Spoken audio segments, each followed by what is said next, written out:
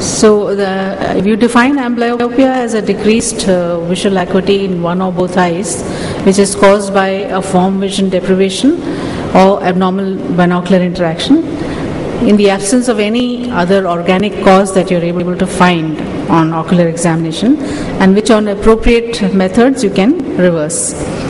Now, you will diagnose it as an amblyopia if the vision is uh, less than 6/12 in bilateral cases, and if there's a difference of two lines at least between the normal and amblyopic eye, in case of unilateral amblyopia.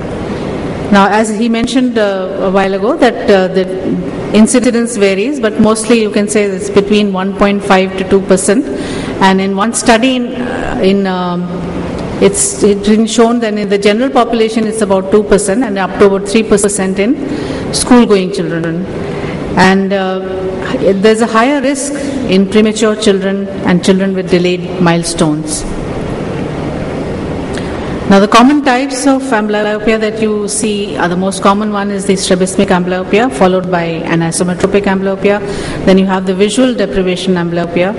And the organic amblyopia something you diagnose as uh, after you've ruled out other things. And in many cases, it may be an idiopathic amblyopia.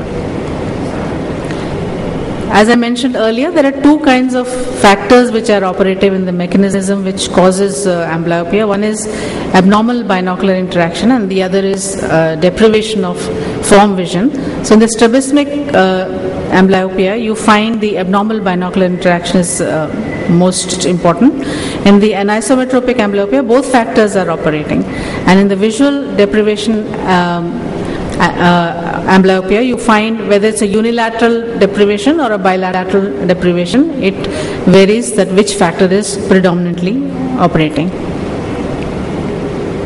Now, there's a critical period, and uh, there have been lots of uh, animal studies, etc. But in human beings, it's presumed that this critical period is between seven to eight years, and that critical period is important because once you institute the treatment at that time, uh, the best possible results are achieved.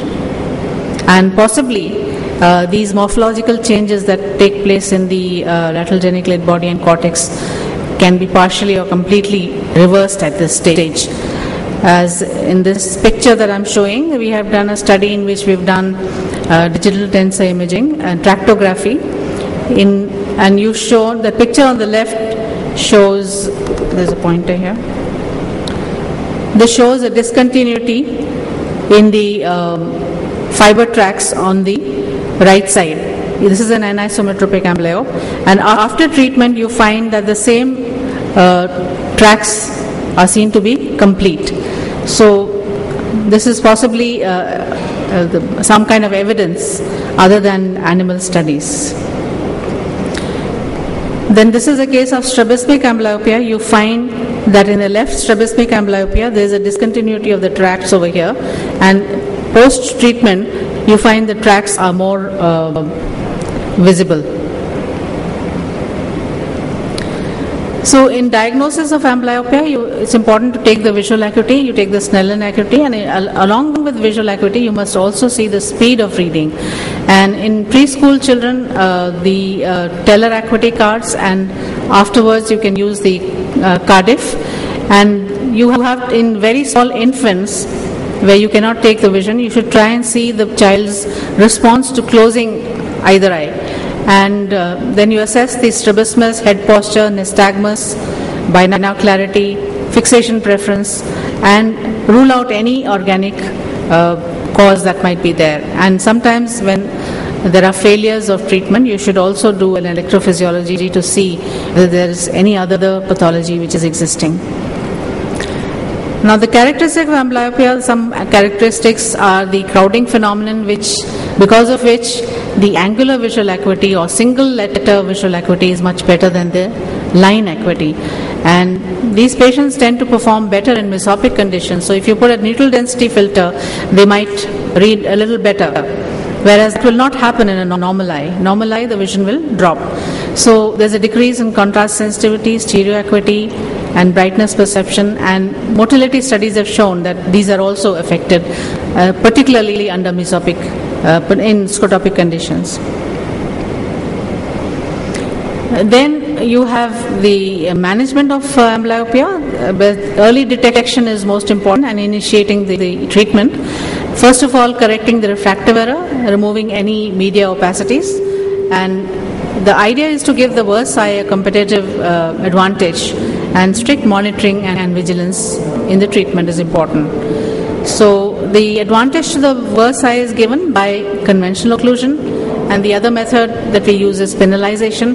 There are various other methods listed here, like optics, drugs, red filters, cam stimulator, and prisms, but we do not use uh, most of these. And even optics has become more or less uh, into disuse these days. So, most importantly, we use the conventional occlusion and the penalization. In this occlusion, uh, you occlude the better eye, and there are different schedules which are uh, followed, and these are according to the age. The follow up is also according to age. Like if you're seeing an infant, don't call the infant after one month, you should call them at, at least 15 days interval or one week intervals. And monitoring see the occlusion of the uh, affected eye and uh, giving these um, in, it's given in severe amblyopia eh, sorry this is inverse occlusion this is given when uh, there is a very severe amblyopia and there is a deep seated eccentric fixation uh, in that eye then it's better not to give the conventional occlusion so that you don't reinforce the eccentric fixation and you try to uh, give an inverse occlusion so as to, to, not to reinforce the eccentric fixating point. And these are the uh, situations in which you want to use optics and uh, aim at uh, restoring the foveal dominance. Then occluders come in various forms. The best are the adhesive occluders, which you use in the form of optic opticlude and micropore tape. Then you have the Doyens of the occluder, the pirate patches, and even contact lenses. So the best way is to put a patch right on the skin so that the child cannot remove it. Well, like for example, a Doyens occluder, the child can see from the side or remove it. So this is the best way to occlude the eye. And partial occlusion is used when you, particularly when we want to do a maintenance therapy, and this by using a sellotape or nail varnish or neutral density filters.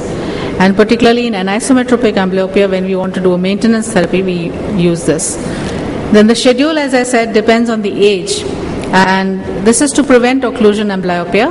And according to the age, you should uh, have the ratio of the uh, occlusion.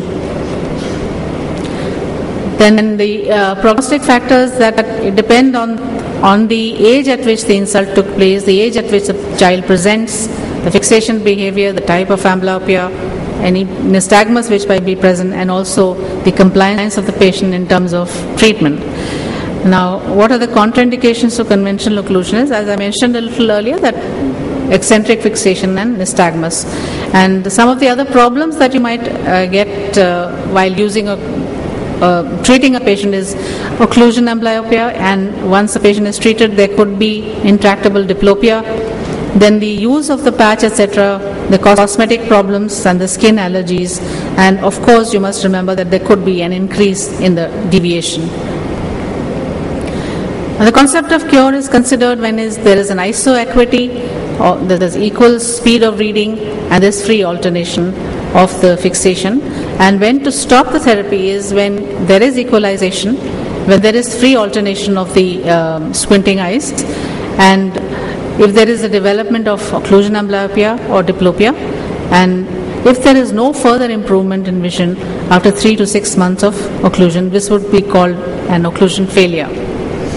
Then, in anisometropic amblyopia, maintenance therapy is given like giving part time occlusion. And in strabismic amblyopia, you must correct, uh, continue one is to one occlusion till the eyes are aligned. Penalization is a uh, technique by which you optically or by means of uh, pharmacological means like atropine, you penalize the eye and put it at a disadvantage. So there are too many slides more. So the indications are when there is a nystagmus or moderate amblyopia, then it's uh, useful only in the unilateral amblyopes then active vision therapy is something which I would like to emphasize that near activity tasks like coloring, cutting, drawing, tracing, these are important to uh, reinforce uh, the uh, treatment. Then the PEDIG group has done lots of studies, and because of the lack of time, I don't think I can go through those slides. But there have been many studies comparing uh, conventional occlusion with penalization and uh, also comparing different hours of occlusion, two hours versus four hours, two hours versus six hours, and such studies. And they all claim that these part-time occlusions uh, help and that occlusion and penalization is equally effective. So I'll cut short on those. And near vision activities. Of course, penalization is more acceptable as compared to uh, occlusion, but occlusion we found is definitely more effective than penalization. Penalization takes a longer time. Then you have pleoptics, I skip. Drugs, we have used uh, carbidopa and levodopa in, um, in a study and we found that there is a slight improvement of two to three lines but which does not sustain itself. So in summarize, efficacy of treatment, uh, uh, if the refractive correction alone, some people have claimed improves the vision in 25%, but better than that is occlusion plus correction of refractive uh, correction. And better than that also is when you give occlusion plus refractive correction plus near activities. So this would be uh, what I would say. And with cases which do not improve, then you have to further investigate them. And uh, early detection and initiation of treatment is important. So screening at infancy or preschool age is advisable. So with that, I'd like to end. Thank you very much.